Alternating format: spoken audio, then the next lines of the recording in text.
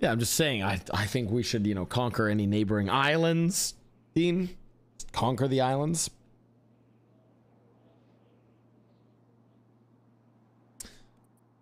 I see what you did there.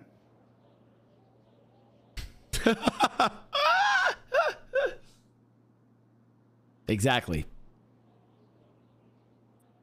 Otherwise, What I do you don't. call a deer with no eyes? A doe? No idea. no, no. Oh, no idea. Okay, fuck you. I What do you call a deer with no eyes and no legs? what? Still no idea.